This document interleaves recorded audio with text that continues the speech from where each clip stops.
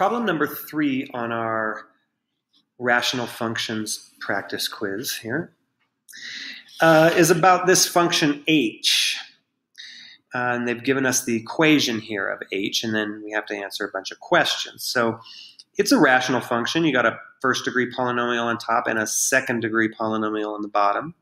And the first thing it's asking us to do is to find the values that make h undefined.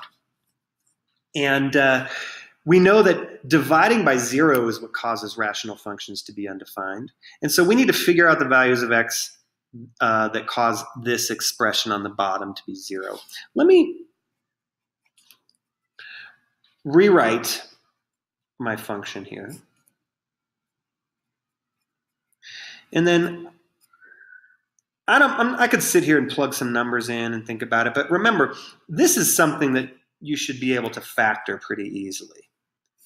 And if not, you could find the values of x that cause this bottom to be zero using the quadratic formula. That's another strategy. Um, but I'm just going to factor it. And it's pretty easy to factor.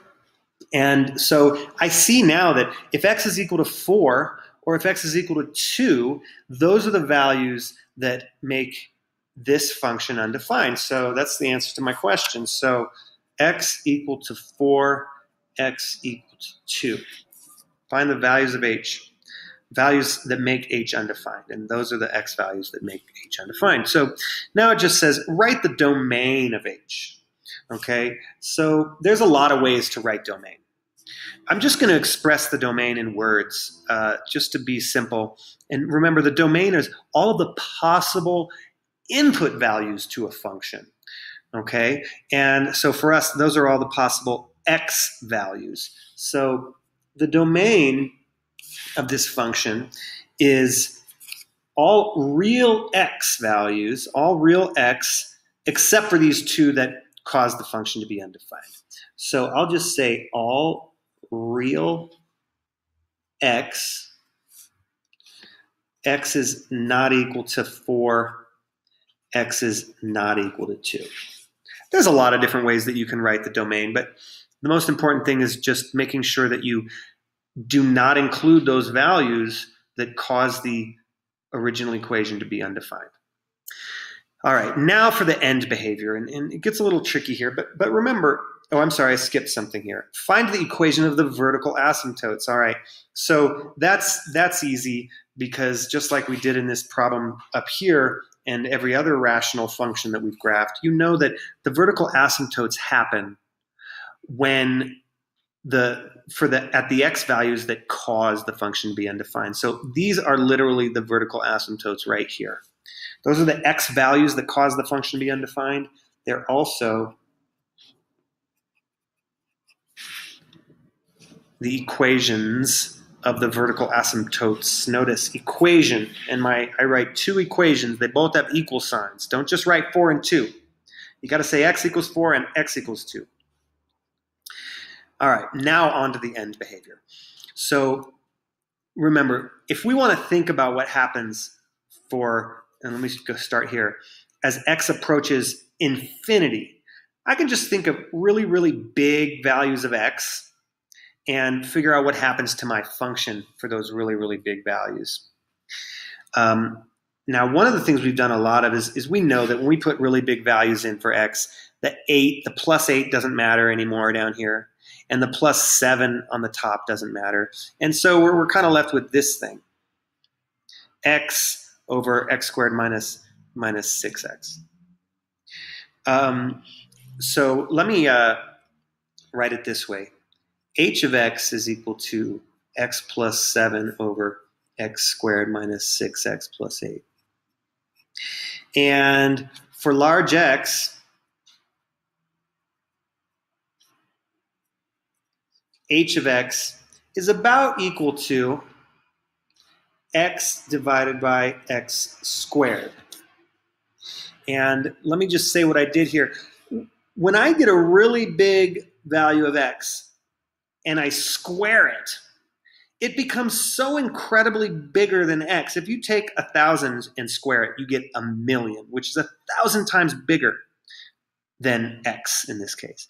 So on the bottom, when you put really big numbers in for x, the, the minus 6x and the plus 8, they don't matter anymore. And what we're re- the, really the dominating feature of the bottom for very large x is just x squared, and that's it. That's why I, I just include my x squared over here. On the top, again, if I take a really large value of x and just add 7 to it, I pretty much still have the same really large value of x. So again, my top is just plain old x. Now, so now I can think of this simpler function and what happens as, as x approaches infinity. Well, it, this sort of simplifies, if I cancel to one of the x's out to this, and you can see now that if x is really, really large, this just approaches zero. And you can see that even as x approaches negative infinity, if I put a really, really large negative number into this, it's still getting closer and closer to zero, just from the, from the negative side. So that's my end behavior, and that informs my horizontal asymptote. Remember, this equation is going to have a horizontal asymptote at y equal to zero. And again, that's an equation. It has an equal sign. Horizontal asymptotes are happen at a particular y value.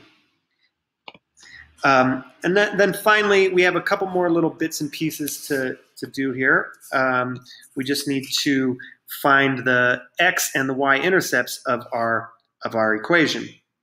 Well, the x-intercept is when the function equals zero. So let me just uh, write this out like this.